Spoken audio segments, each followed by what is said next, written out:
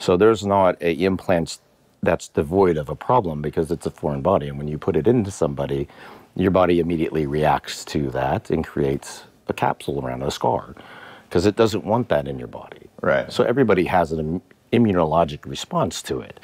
So I would do nerve and muscle sparing procedures to take skin and fat from the abdomen, inner thigh, even upper buttock tissue, and transport that to the chest and hook that up via microsurgery using the blood vessels that the cardiac surgeons use to revascularize the heart.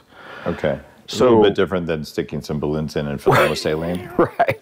So for me, uh, I didn't put in a large number of implants. I took a large number out. And when I look back at my experience, I was taking care of folks with this problem without knowing I was taking care of folks with this problem.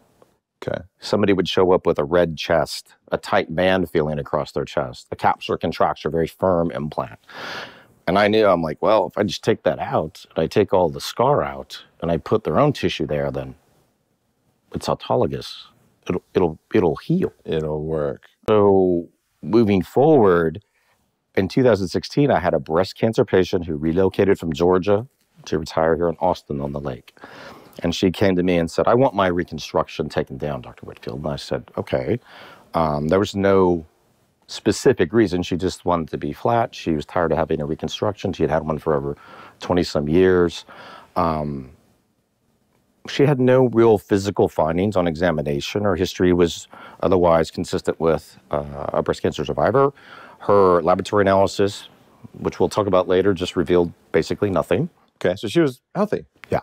One complaint bad fatigue. So she wasn't healthy. People who are tired aren't healthy unless it's because they didn't sleep or they ate crap. But the predominant thinking, Dave, is if you had cancer and you were treated with poison to cure your cancer and you had bone marrow suppression, that explains That would make you tired. your fatigue. And I was in that lane. That's what I Okay, so thought. that's what you believed. So I took her to the operating room. Ah, so there's one caveat. She asked me to do something I'd never been asked before by a patient. She said, Can you take out my implants en bloc? And so for the What audience, that? en Yeah. bloc is a term used in pathology. It's tumor extirpation, uh, extirpation or removal is done en bloc. Say for a sarcoma or any cancer, you want to be around it, not in it. So she, wanted you to take the tissue around the, the Right. capsule? The scar capsule Okay. and the implant together. So when I talk about it, I say it's like taking things out in an undisturbed manner, like not breaking the Easter egg.